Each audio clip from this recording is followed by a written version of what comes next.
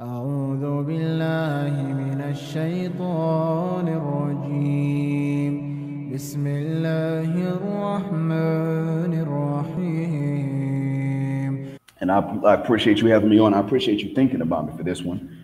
Um, and if anything, um, I did have limited time, but however, you um, were very patient with me as I was giving long answers to the questions, trying to make sure that I gave the audience some, some good info to think about and to understand. And uh, thank you for sending me that reminder.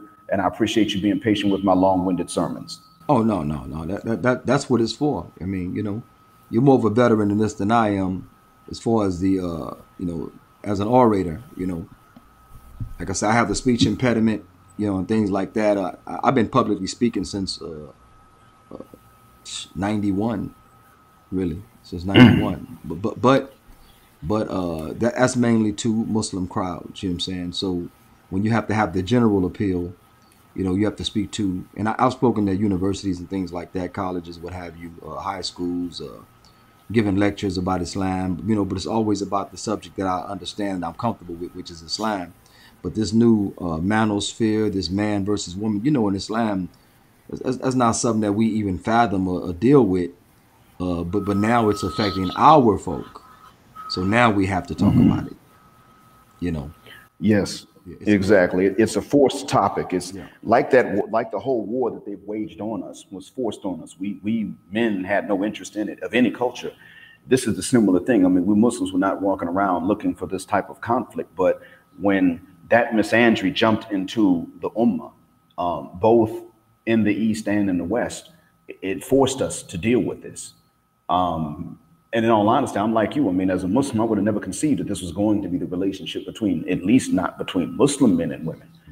And like you, I was surprised and I had to come to terms and come to grips with the fact that we're forced to deal with this. And this is why we've got to tell young Muslim men that, that live in the West, you can't stay in the West thinking that you're going to find somebody. Um, now, granted, we do believe in hijra if it's a possibility. If you can do it, you you migrate. We both believe in that. You leave where they, they oppress you. But it's like now you and I have been forced to tell young men, um, you're going to have to bounce because, uh, yeah, you, you'll have to because you can't even stay where you are and then think you're going to start a family and keep that family together um, it's not even an option for you. And not only that, but we've had to come to, to grips with the fact that one of the reasons why we have had a hard time keeping Islam through the generations, why we have Muslim grandparents and non-Muslim grandkids, or even Muslim parents and non-Muslim adult children. Yeah. We, we've had to come to grips with the fact that it's not usually the father that uh, just let the religion go. It's usually that he chose wrong Yeah. And then she decided she was going to put the dunya ahead of the deen in raising the kids.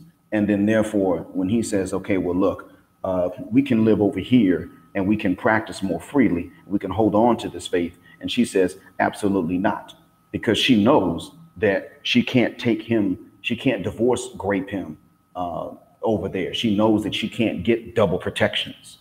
She understands that.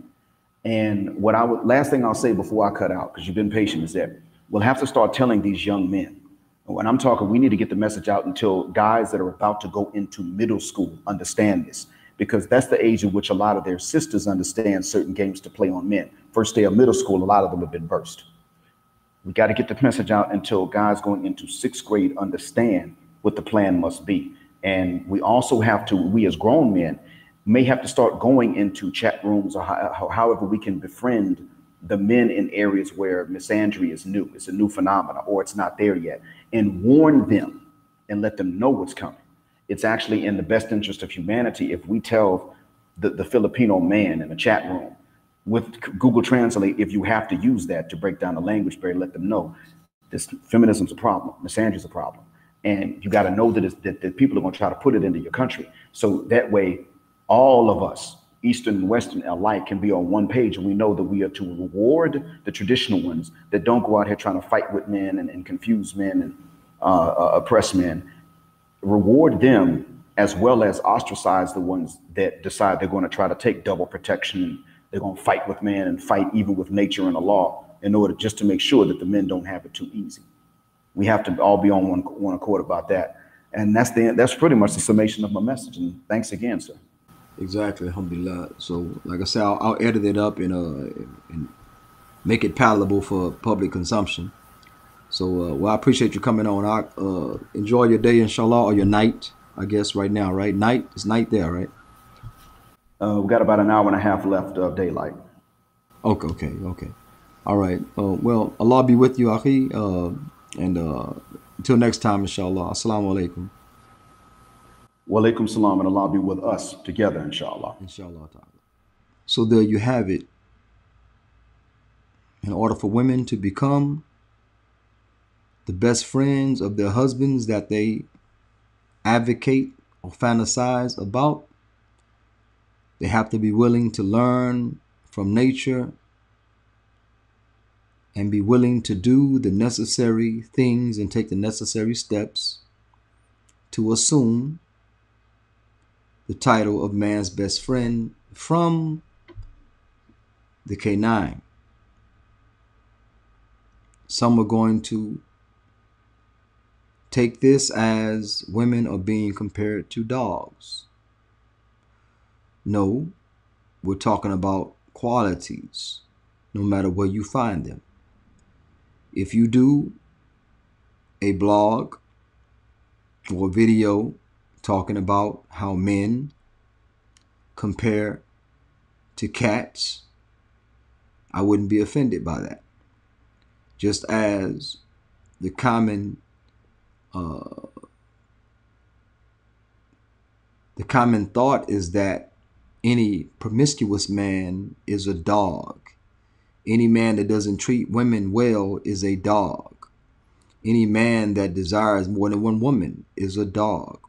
We've been compared to dogs the whole time. I'm talking about the positive traits that we find in the canine species that you all can adopt and make yourselves more affable, make yourselves more agreeable, more accommodating, more endeared to the male human species. This has been Saad Imam for Exactly. Assalamu alaikum wa rahmatullahi wa barakatuh. أعوذ بالله من الشيطان الرجيم بسم الله الرحمن